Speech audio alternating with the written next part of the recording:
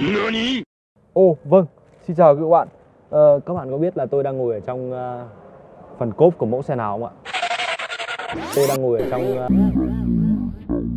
Bật mí nhá Đây là một mẫu xe đến từ Nhật hạng sang Chính là GX 460 Với cái động cơ V8 4.6 lít Phần cốp các bạn uh, có thể thấy rằng là khá rộng Nhưng mà nếu như Nếu như chúng ta Lật cái hàng ghế thứ ba lên Thì các bạn sẽ thấy rằng là Cái dung tích ở phần à, phía sau của chiếc xe này nếu mà chúng ta sử dụng đủ cả ba hàng ghế thì thật sự là rất là chật. Chúng ta sẽ khó lòng mà để được những cái à, đồ dùng mà chúng ta mong muốn. Các bạn có thể thấy rằng ngay lúc này ở đây thì à, phần cốp này đang chứa được một cái tấm thảm ở phía sau. Một cộp đồ chỉ bằng như thế này thôi các bạn ạ. Đây. Cá nhân tôi nghĩ rằng là với một chiếc vali cỡ mỏng hoặc là hai chiếc ba lô thì sẽ chứa được ở trong cái phần không gian cốp của chiếc xe này. Nếu mà đấy là đang nói là chúng ta sử dụng cả ba hàng ghế nhé các bạn. Có lẽ là quý vị các bạn cũng đã gặp rất nhiều những cái mẫu GX 460 chạy ở ngoài đường rồi. Phải nói rằng là với những cái ngôn ngữ thiết kế của Lexus cũng như của Toyota thì họ rất bảo thủ nếu mà chúng ta nhìn lại những cái mẫu xe như GX 460 mà mẫu xe này xin thưa với quý vị các bạn là uh, đang có cái mức giá cũng không hẳn là quá dễ chịu đâu. Dễ chịu đâu nó là những cái mức giá mà chúng ta rất đáng phải trầm trồ đấy ạ.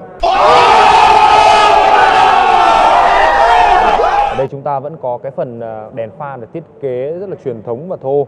Cũng như là ờ, bóng ở đây chúng ta khi bật đèn pha chúng ta sẽ có bóng halogen. Ờ, có nhiều ý kiến cho rằng là với bóng halogen này thì nó chưa được hợp thời rồi nó không hiện đại rồi nó thế này kia. Không phải như vậy đâu ạ.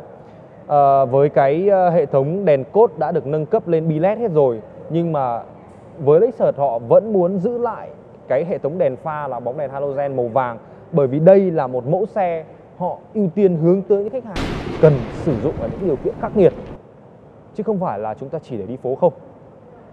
Đèn xi nhan ở dưới các bạn thấy thấy này, vẫn là bóng halogen bình thường. Còn ở phía dưới đây, đèn ờ, sương mù chúng ta cũng đã có lên công nghệ led rồi các bạn ơi. Đấy, không phải là họ không không không chú trọng vào những ngày đâu chẳng qua là cái thiết kế bên ngoài họ vẫn muốn giữ cái chất riêng của mình thôi.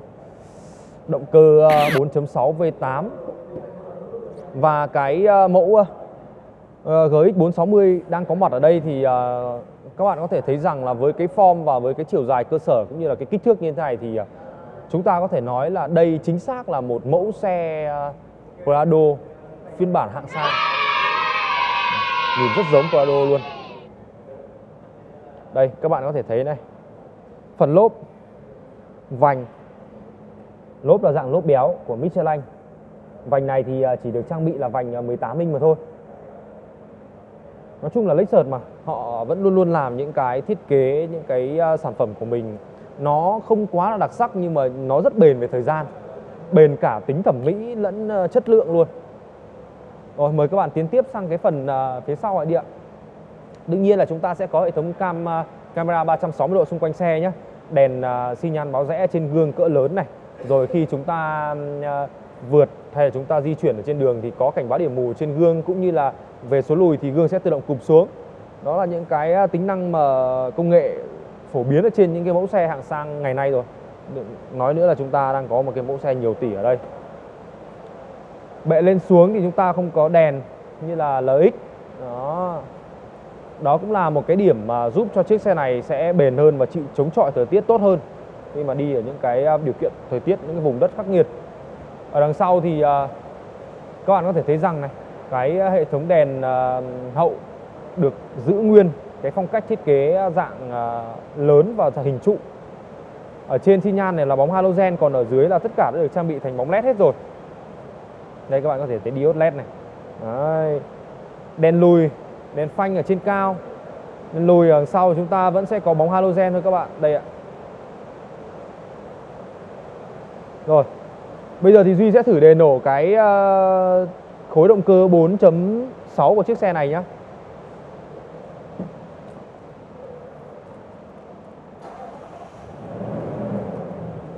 các bạn có thấy những cái động cơ hút khí tự nhiên của ờ, Toyota khi mà chúng ta đề nổ ấy, nó gào rất là lớn, thể hiện uy lực của mình.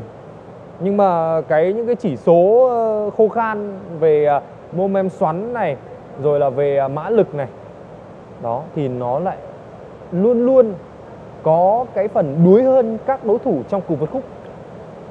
Đó là ưu điểm của Toyota. Đây các bạn thấy này phần kính sau này có thể mở uh, riêng biệt nhé chúng ta lấy đồ này. Đấy rồi là cửa cốp thì chúng ta sẽ mở ngang. Nó cũng là những cái đặc điểm quá là quen thuộc của GX 460 rồi. Ở đây chúng ta cũng sẽ có cái phần à, càng sắt để à, chúng ta bắt cái à, móc trailer vào đây.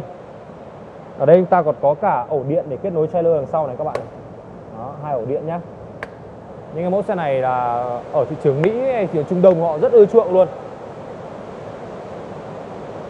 À, là một cái mẫu xe chạy hình khá nhiều thế cho nên là cái phong cách thiết kế ở khoa nội thất của chiếc à, GX 460 này cũng à, không hề hoa mỹ một chút nào cả.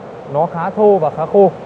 Đây à, các bạn lưu ý rằng là chỉ ở bên này thì chúng ta mới có thể à, đẩy cái hàng ghế này lên một cách dễ dàng để đi vào hàng ghế thứ ba thôi. Một à, cái không gian à, có thể nói là khá khiêm tốn dành cho một người à, lớn cao 1m7 như Duy. Đây các bạn có thể thấy rằng là là rất là khiêm tốn các bạn ạ. Đây Duy sẽ phải bật hết đèn lên đây. như Duy là cao 1m7 ngồi đây là là đã bị uh, kịch cái phần đầu gối vào đây rồi.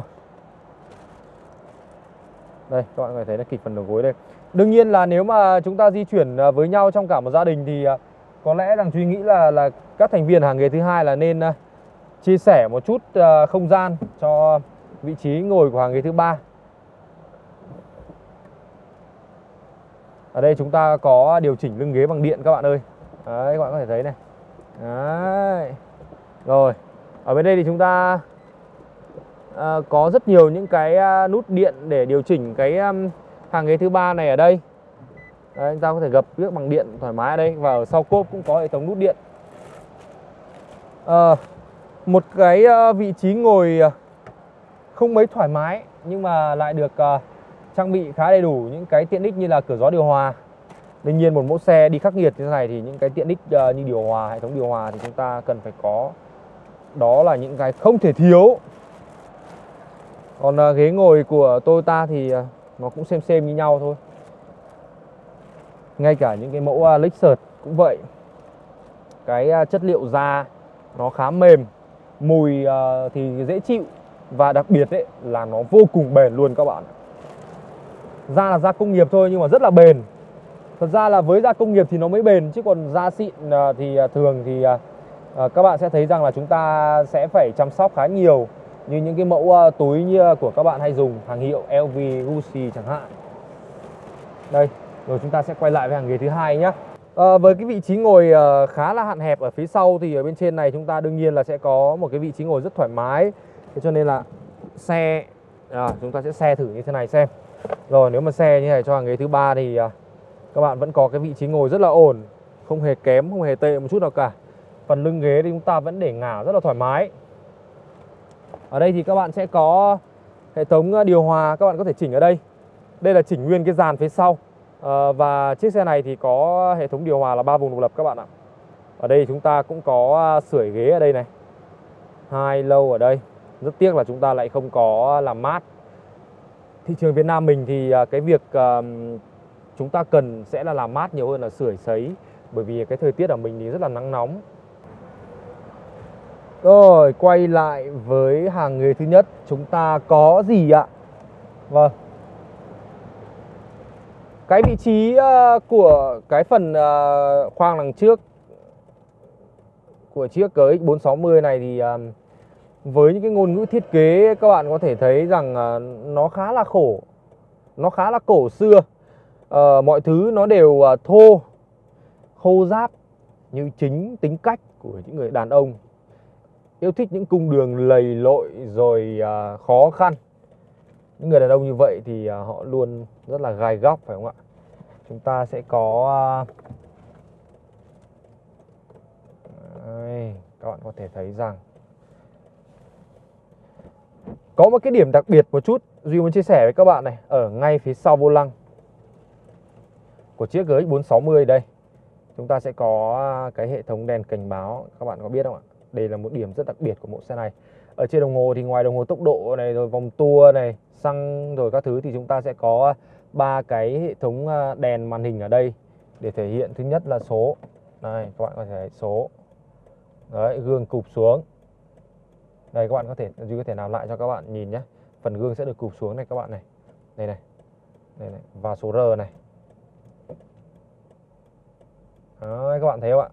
Hỗ trợ chúng ta rất tốt khi chúng ta di chuyển. Rồi là ở mẫu xe này thì chúng ta cũng có thể à, điều chỉnh cái hệ thống treo bằng cách là chúng ta bơm à, nâng cái phần gầm lên hay hạ phần gầm xuống. Cũng như là chúng ta chỉnh các cái um, chế độ chạy ở đây Sport, Comfort. Đấy, Comfort này. Sport này đó. Rồi ở phía dưới này thì chúng ta sẽ thể điều chỉnh à, cái hệ thống hỗ trợ leo dốc hay là đường xấu gập ghềnh ở đây. Chúng ta gạt xuống đây, chúng ta sẽ điều chỉnh được ạ. Nó, chúng ta điều chỉnh tăng cái tốc độ chúng ta mong muốn lên. Chúng ta chỉ cần gạt một cái thôi, rồi chúng ta tập trung vào vô lăng. Xe sẽ tự động bò bò bò chậm chậm chậm chậm vượt qua các cái chướng ngại vật hay các cái tảng đá. Nhưng mà các bạn hãy lưu ý nhé, đi off road thì nhớ rằng là chúng ta phải biết đường phải hiểu về cái cung đường đó thì chúng ta mới đi được. Không ngồi lôi thôi là chúng ta gặp tai nạn ngay lập tức luôn nếu mà chúng ta là những con người chưa có quá nhiều kỹ năng vận hành. Ở trên mẫu xe này thì chúng ta cũng sẽ được uh, trang bị cruise control này rồi là cảnh báo uh, va chạm này ờ, uh, LDA các thứ thì chúng ta đầy đủ hết. Nói chung là những cái mẫu xe của Lexus thì uh, chúng ta cũng sẽ được trang bị khá khá những cái tính năng uh, hỗ trợ về an toàn. Ở đây thì chúng ta có uh, cổng sạc 12V 120W này. Rồi là cổng USB hai cổng ở đây. Cổng AUX nữa. Ở hàng ghế trước thì chúng ta có à, làm mát và làm à, sưởi ghế ở đây. Đây, ngay cái làm mát và sưởi các bạn thấy này. Dạng lăn lăn này, rất là truyền thống luôn. Cổ điển. Nếu để nói về cổ điển thì Toyota áp dụng những cái này rất tốt. Họ nghiên cứu sản phẩm rất sâu.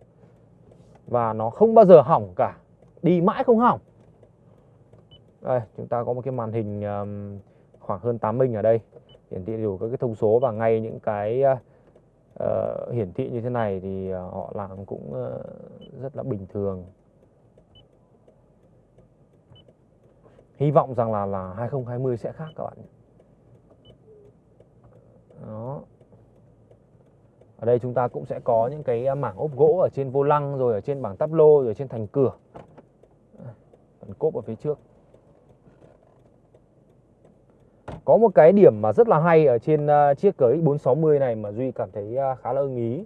Khi mà chúng ta di chuyển những cung đường dài đó chính là cái hần hộc lạnh ở đây. Ta có một cái bệ tì tay kèm với hộc lạnh ở phía dưới. Ừ, các bạn có thể thấy. Nhưng mà đây chúng ta có một ngăn nhỏ nhỏ để để đầu nữa các bạn. Trên đây chúng ta cũng có cửa sổ trời này. À, còn một cái điểm này nữa mà duy muốn chia sẻ với các bạn. À, đây có lẽ là một cái ờ, tính toán của ờ, nhà sản xuất Lexus khi mà trang bị chiếc xe này. Toàn bộ cái phần ờ, kính lái phía trước này, rồi các kính ở hai bên thì đều được phủ một cái lớp thì đều được phủ một cái lớp để ngăn tia UV cũng như là giảm bớt cái hiện tượng bị ánh nắng chói mắt cho người vận hành.